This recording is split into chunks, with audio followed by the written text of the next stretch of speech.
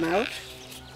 This thing right down here that's Uh, laying on that the side? that's laying on the side because it's already dead. Oh. I pulled it out. Remember how I said a lot of times you can just pull Yes. it out and lay it down? Right. So that's old um, mash, that lettucey stuff, Mm-hmm. and I just lay it down there.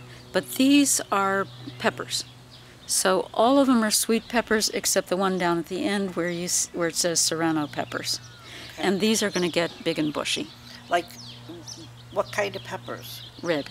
Red peppers? These are all going to, but you can obviously use them green. Um, and they'll get big and bushy. In between, I might plant some onions and lettuces. You can have lettuce during the summer here if you plant it underneath of stuff, so that it gets it gets shaded. Um, so Right.